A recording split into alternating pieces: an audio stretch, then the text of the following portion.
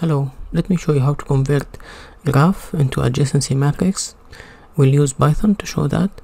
So let's say we have this graph and we need to convert this visual thing into like uh, 0, 1 matrices.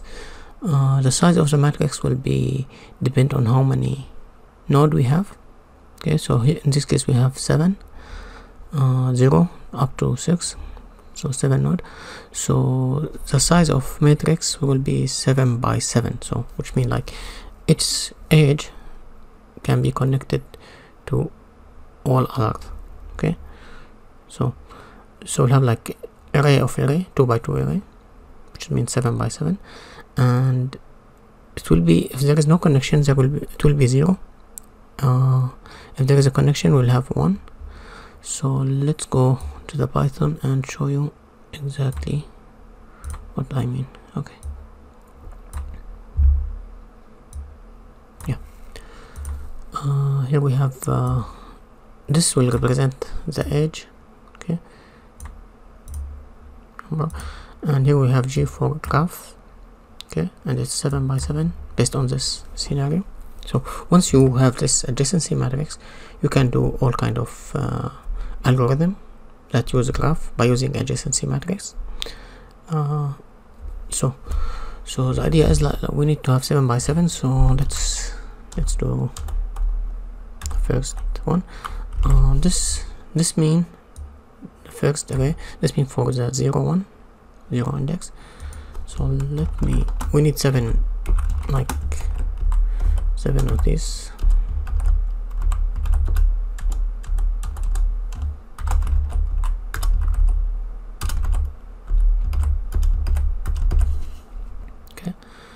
let me put numbers for that zero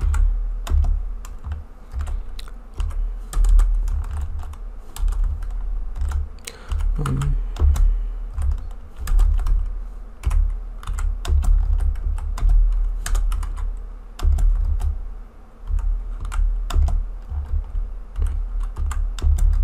okay here we have like seven by seven matrices and this is the main graph like the whole thing. Right now each each node will have option to connect to all everything we have which means we have let's say we don't have any connection right now so we have like uh, seven zeros. Okay. So let me copy this one and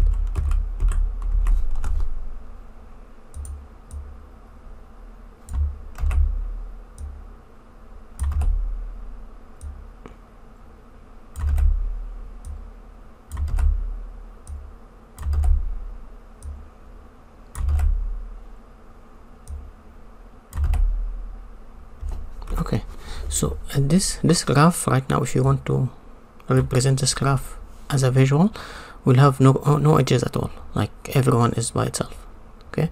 So right, right now let's start connecting these edges. It's very easy like uh, node 0 is connected to 1 and 4 which means 1 here and 4 so we have this information right now. So if we have this graph only right now we'll have only just these two these three are connected and everything is not connected. Okay. Uh, let's go to the next one. One is connected to 0 2 and 4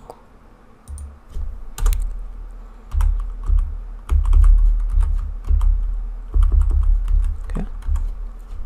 Now next one is 2 is connected to 1 and 3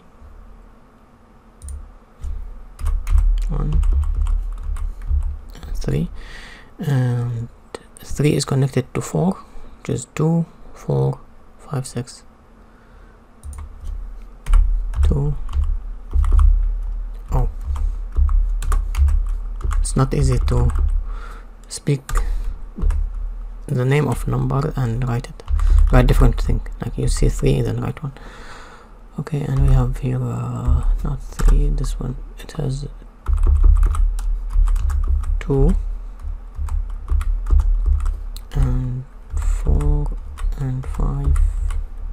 and 6 so this this node has three connection edges. Okay. 2 4 5 6 uh, let's move to the next one. 4 has connection to 1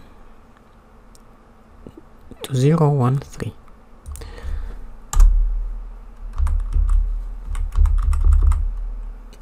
Mm -hmm. almost done. 5 is connected only to 3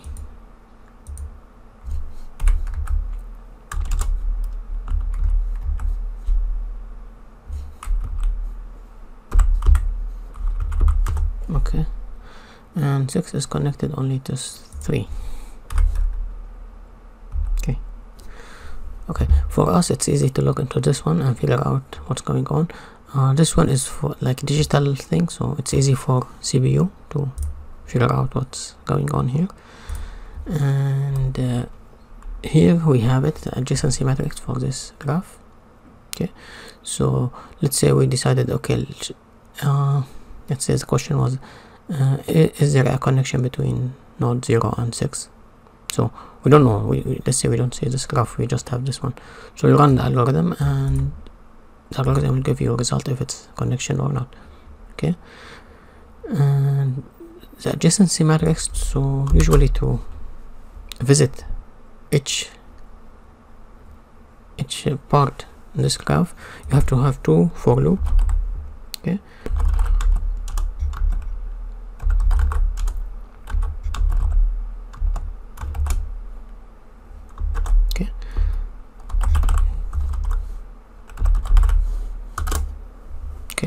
right now we have like node 0 h1 then we have we need to do internal loop for edge and node.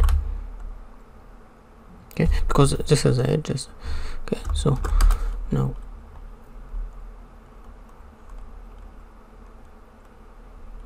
yeah if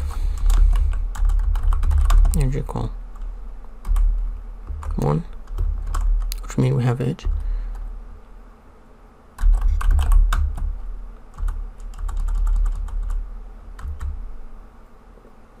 Okay. And let me get something else here. We have we need to have like uh,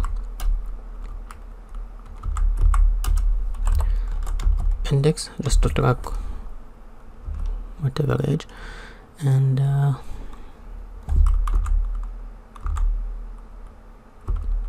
or we can have it like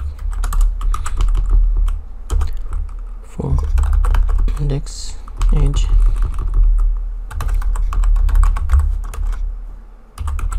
-hmm.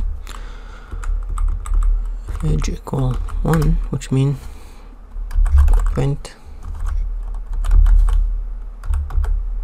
index okay and here we have let's say print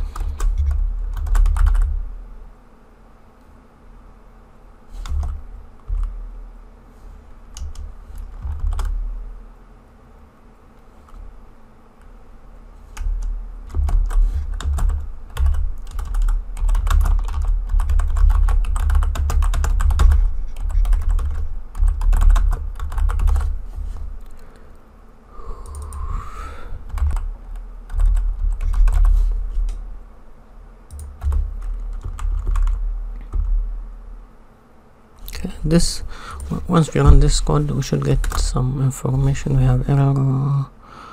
Okay this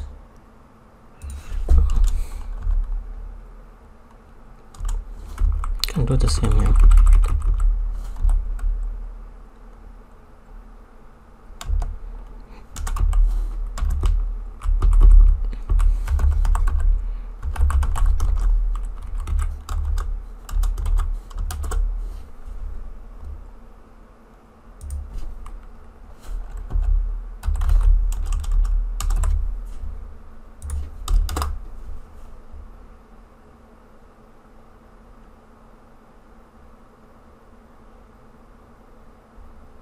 Oh, okay.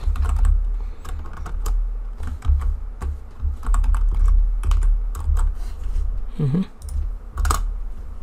Okay, node zero.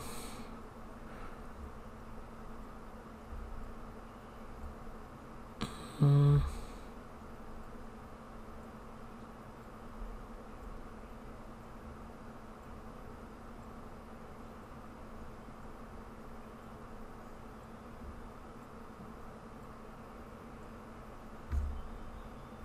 Oh okay.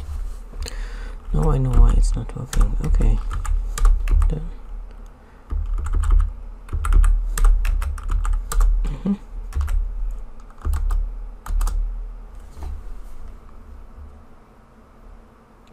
okay node 0 has two edges 1 and 4 uh, node 1 has 3 0 to 4 yeah that's that's how we can go through that.